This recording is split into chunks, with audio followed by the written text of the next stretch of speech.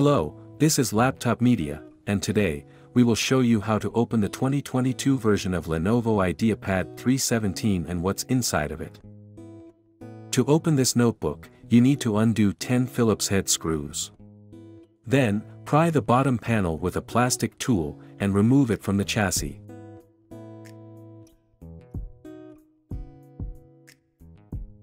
Please remember, it would be of great help to us if you just hit the like button and subscribe to our channel. That would motivate us to make even more and better videos for you.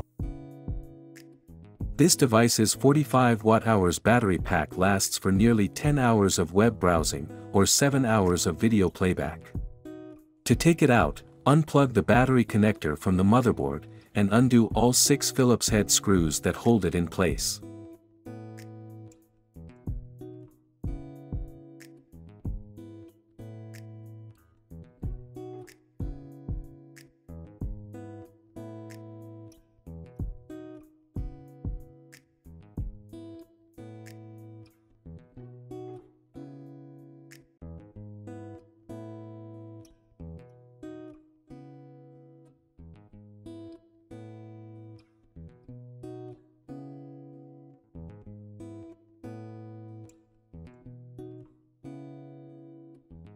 Memory-wise, there are either 4 or 8 GB of DDR4 RAM soldered to the motherboard.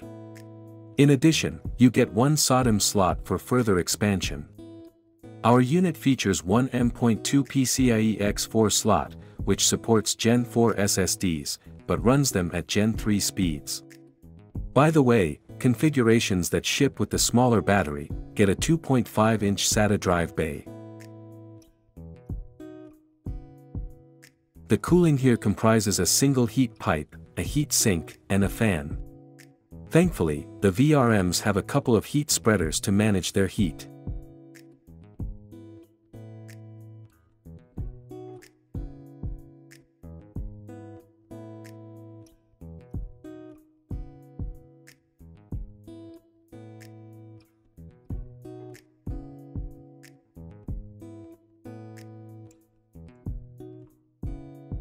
If you'd like to see more disassembly videos of the latest notebooks we would highly appreciate if you hit the like button and subscribe to the channel.